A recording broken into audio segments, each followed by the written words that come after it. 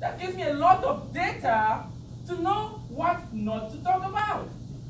So all I had to do was look at your PowerPoint. Okay, they talked about this. All right, Monday. Okay, done. Look at the second PowerPoint. Okay, they talk about this. Okay, I know. Done. And then I realized I have to do some copy innovation. What did they talk about? What did they talk about that was great? I took the slides. Hello.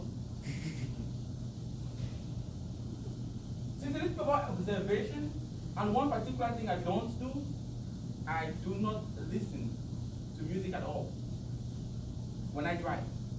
Why? Because it's when I drive, as you may have noticed, I've mentioned a lot of things about driving. That is the moment where I think the most.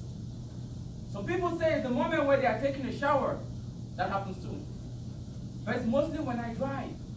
I think about the world and why people don't do what they should do. Because they are following the 10 people and not the one single person who on the other side. And also don't want to get another picture. Thank you very much. In fact, every single time I go through that residential area, I slow down. Nice, slow down. But please, as you're going into your teams, don't slow down. Just share about design thinking with them. In your own words, build that trust with the people. And let them know, hey, agile, lean, and design thinking, they are brothers and sisters because they all have one particular goal, continuous improvement. Any other question?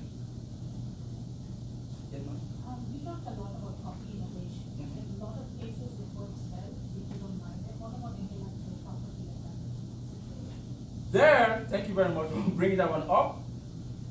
There are two parts to it.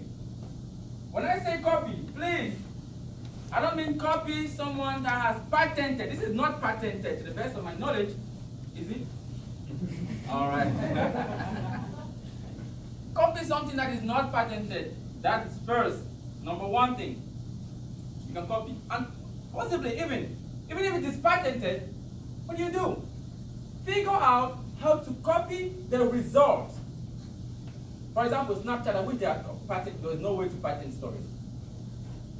But look at a particular situation where, let's say for example, Cisco and our networking machines, like all the different data centers and what we have developed. Why do we still have competitors with about 50,000 patents? We have more than 50,000 patents. But we still have competitors. I do believe it's because the people actually sit down, maybe they sit down, they look at the pattern, they say, oh, there's a flaw in here, opening, okay, let's get it. There's always a flaw somewhere. And number two thing is, there's a story that was shared in Y Combinator. They said, we were working on our project, so we had a website, there was a, a guy talking, and he said, they had a website. They knew the competitor so well. The competitor was in South Africa, he had just received a grant of about $40 million. The competitor was really hefty. And they were having a website version one. Then they realized a day later, the competitor launched. And he had the same website like they did. But the crazy thing about copying is, I did not just say copy, I say copy, innovate. They were actually working on their version two, and they launched a week later, surpassing those guys in South Africa. So when you want to copy, don't just copy the state. Copy, look at the flaws, and then in innovate.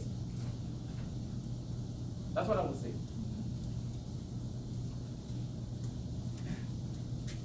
Question? Okay, so this is the final point.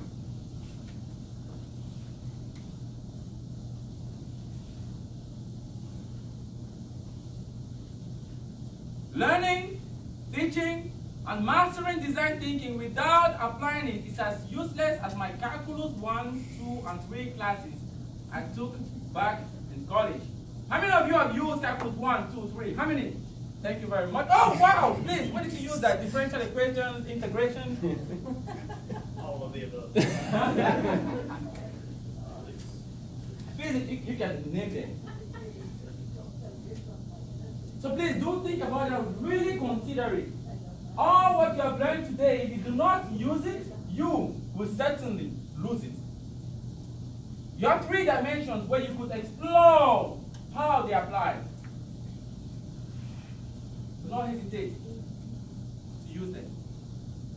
My name is Mr. Adrien Feudjio, and I'll be at the back. Thank you very much.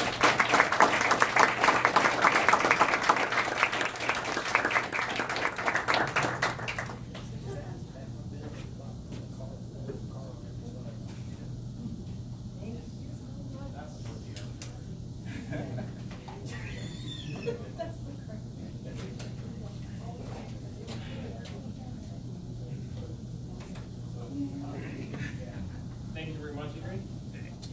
And it's- it's always an interesting